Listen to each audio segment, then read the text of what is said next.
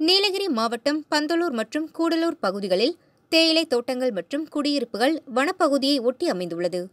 இதனால் விலங்குகளின் அச்சுறுத்தல் உள்ளது. கூடலூர் வனத்துறை சார்பில் தேயிலை தோட்டங்கள் மற்றும் கிராமப்புறங்களில் வனவிலங்குகளின் தாக்குதலில் இருந்து பொதுமக்கள் தற்காத்துக் கொள்வது மற்றும் வனவிலங்குகள் நடமாட்டம் இருந்தால் வனத்துறைக்கு தகவல் தெரிவிப்பது வனவளத்தை பாதுகாப்பதில் பொதுமக்களின் பங்கு குறித்து விழிப்புணர்வு ஏற்படுத்தப்பட்டது.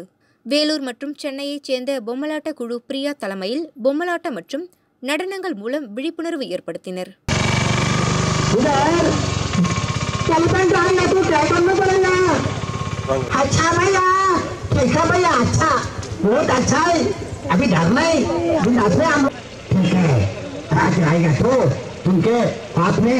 சிட்டி மில்தா அப்படியே சந்தேகங்களை எடுத்து செல்வதற்கு எப்படி ஒரு விழிப்புணர்வு தான் இங்க சொல்லி கொடுத்தாங்க.